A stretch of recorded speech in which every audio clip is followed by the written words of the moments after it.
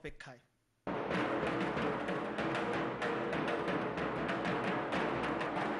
নানা আচার ও দুর্গাদেবীর দশমী বিহিত পূজা সমাপনের মধ্য দিয়ে শেষ হয়েছে বিজয়া দশমী এদিকে বিজয়া দশমীকে কেন্দ্র করে লন্ডনের পূজা মণ্ডপগুলোতে ছিল পূজারীদের উপচে পড়া ভিড়।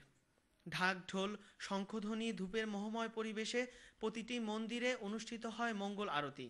ছিল মনজ্ঞ সাংস্কৃতিক অনুষ্ঠান। এবার লন্ডনের আটটি মন্দিরে উদযাপিত হয় দুর্গাপূজা। দুর্গতি নাশিনী দেবী দুর্গা এবারে পিতৃলয়ে আক্রমণের মধ্য দিয়ে সবচেয়ে সকল সমস্যার বিনাশ হবে বলে বিশ্বাস করছে লন্ডনের সনাতন ধর্মাবলম্বীরা পূর্ব লন্ডনের ইয়র্ক হাউস থেকে এম এর মুরাদ চ্যানেল আই সোমবার দুপুরে পূর্ব লন্ডনের পপলারের স্থানীয় ইস্ট ইন্ডিয়া ডক রোডে এক লোমহর্ষকর দুর্ঘটনা ঘটেছে। প্রত্যক্ষদর্শীদের বরাত দিয়ে জানা যায়, ঘটনায় আক্রান্ত বাঙালি তরুণী টাওয়ার হ্যামলেটস কলেজের ছাত্রী, তার বয়স ষোলো বছর। কলেজে যাওয়ার পথে রাস্তা পার হওয়ার সময় এই দুর্ঘটনা ঘটে। এই সময় পুরো রাস্তায় যান চলাচল বন্ধ করে দেয় পুলিশ। আশঙ্কা অবস্থায় হেলিকপ্টার যোগে দুর্ঘটনায় শিকার তরুণীকে রয়্যাল লন্ডন হসপিটালে নিয়ে যাওয়া হয়। শেষ খবর পাওয়া পর্যন্ত মৃত্যুর সঙ্গে পাঞ্জা লড়ছে সত্য কলেজে পা দেওয়া বাঙালি এই তরুণী।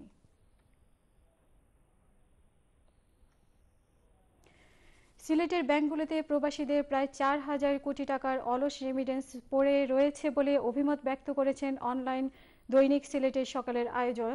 আয়োজনে সিলেটের প্রবাসীদের সমস্যা ও সম্ভাবনা শীর্ষক খোলামেলা মতবিনিময় সভায় বাঙালি কমিউনিটির বিশিষ্ট জনেরা। রবিবার বিকেলে পূর্ব লন্ডনের বিক লেনের প্রিন্স সিলেট স্টেটের collective of Bangladesh school governance কার্যালয়ে সভা অনুষ্ঠিত থেকে তারা এ মন্তব্য করেন। সিলেটের সকালে পরিচালক ও শামসুর রহমান ফাউন্ডেশনের সভাপতি সুফি সোহেল আহমেদের সভাপতিতে এবং সাংবাদিক ও প্রকৌশলী সাজু আহমেদের পরিচালনায় এতে মূল প্রবন্ধ পাঠ করেন সারিফ বিশ্ববিদ্যালয় ও শাহজালাল বিশ্ববিদ্যালয় graduate education consultant Akhlakur Rahman. মূল প্রবন্ধে দেশে বিদেশে প্রজন্ম থেকে প্রজন্মের দূরত্ব, বিনিয়োগ, আমলাতান্ত্রিক জটিলতা ও পর্যাপ্ত তথ্যের অব্যবস্থাপনা সহ বিভিন্ন সমস্যার কথা বিস্তারিতভাবে তুলে ধরা হয়। অপরদিকে, বিনিয়োগের সম্ভাবনার খাতসমূহ, পর্যটন শিল্পের বিকাশ বিশেষজ্ঞ, আদান প্রদান সহ আরও বিভিন্ন সমস্যার সম্ভাবনার কথাও উল্লেখ করা হয়। মাওলানা আতাউর রহমানের কোরআনের তেলাওয়াতের মধ্য দিয়ে শুরু হওয়া অনুষ্ঠানে অন্যান্যদের মধ্যে উপস্থিত ছিলেন সাপ্তাহিক লন্ডন বাংলা সম্পাদক কে এম আবু তাহে চৌধুরী, মির্জা আসাব বেগ, খ্যাতিমান ফটো সাংবাদিক আব্দুল বাতিন ফয়সাল শাহিস্তা চৌধুরী কুদ্দুস, সাবেক ডেপুটি মেয়র আব্দুল শহীদ খান, সাংবাদিক রহমত আলী, বাংলা মেয়র সম্পাদক আব্দুল করিম গনি সহ আরও অনেকে। মিডিয়া বিস্তারে ব্যবসায়ীদের ভূমিকা গুরুত্বপূর্ণ বলে উল্লেখ করে বিশিষ্ট গণমাধ্যম ব্যক্তিত্ব শাহিক সিরাজ বলেছেন, বেশিরভাগ ক্ষেত্রেই ব্যবসায়ীরা মিডিয়ার প্রাণ হিসেবে কাজ করে থাকে। শুক্রবার পূর্ব লন্ডনের এইচ রাইফেল স্ট্রিটের চ্যানেল আই ইউরোপের হলরুমে লন্ডনের ব্যবসায়ী নেতৃবৃন্দের সাথে এক মত বিনিময় সভায় তিনি কথা বলেন। উপস্থিত ব্যবসায়ীদের ধন্যবাদ জানিয়ে চ্যানেল আই ইউরোপের ব্যবস্থাপনা পরিচালক রেজা আহমেদ ফয়সাল চৌধুরী শোয়েব অতীতের ন্যায় ভবিষ্যতেও ব্যবসায়ী নেতৃবৃন্দ তাদের সহযোগিতায় অব্যাহত রাখবে বলে আশা ব্যক্ত করেন।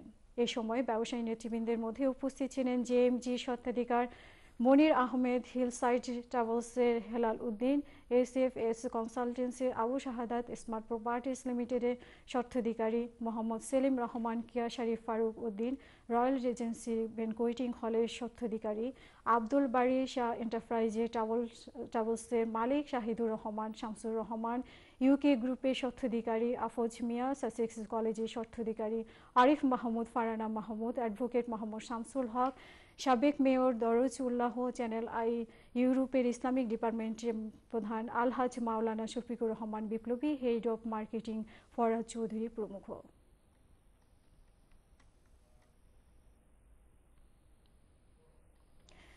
বাংলাদেশ জাতীয়তাবাদী দল বিএনপি যুক্তরাজ্য শাখার উদ্যোগে এক জরুরি সভা রবিবার পূর্ব লন্ডনের সংগঠনটির কার্যালয়ে অনুষ্ঠিত হয়। সংগঠনের সভাপতি শায়স্তা চৌধুরী কুদ্দুসের সভাপতিতে ও সাধারণ সম্পাদক কয়সর এম আহমেদের পরিচালনায় অনুষ্ঠিত সভায় প্রধান অতিথি হিসেবে উপস্থিত ছিলেন বিএনপির কেন্দ্রীয় আন্তর্জাতিক সম্পাদক মাহিদুর রহমান। বিশেষ অতিথি হিসেবে বক্তব্য রাখেন যুক্তরাজ্য বিএনপির সাবেক আহ্বায়ক এম এ মালিক ও সাবেক সাধারণ সম্পাদক ব্যারিস্টার এম এ সালাম।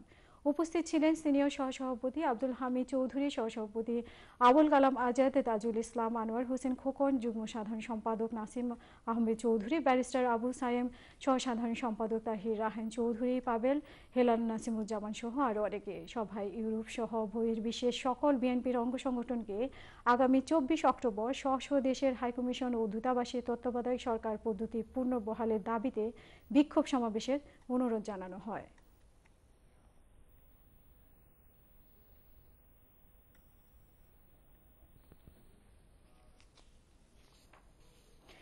বেঙ্গল অয়েল ফেয়ার অ্যাসোসিয়েশন ক্যাম্বেরির উদ্যোগে এক ফ্যামিলি গ্যাদারিং এর আয়োজন করা হয়। পবিত্র কোরআন থেকে তেলাওয়াতের মধ্য দিয়ে শুরু হওয়া অনুষ্ঠানে সভাপতিত্ব করেন আব্দুল মজিদ।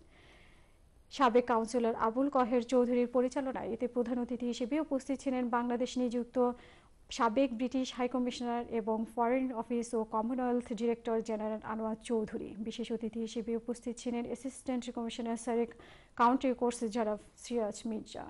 অন্যান্যদের মধ্যে উপস্থিত ছিলেন সাইদুর রহমান রেনু টেডভারি রিটায়ার্ড উইং কমান্ডার কাউন্সিলর ডিচ, ফাদার বার্স নিকলি, community activities Mrs Saima Ahmed সহ অন্যান্যরা।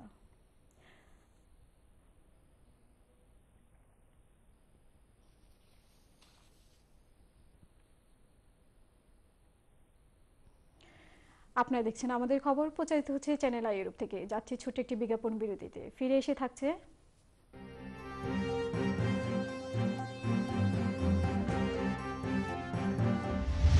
ঈদ উল আজহাকে কেন্দ্র করে পাটফোটের দোকানগুলোতে ক্রেতাদের উপচে পড়া ভিড়, উৎসবের আমেজ। নিশ্চয় অনুষ্ঠিত হয়েছে সনাতন ধর্মাবলম্বীদের সবচেয়ে বড় ধর্মীয় উৎসব শারদীয় দুর্গাপূজা।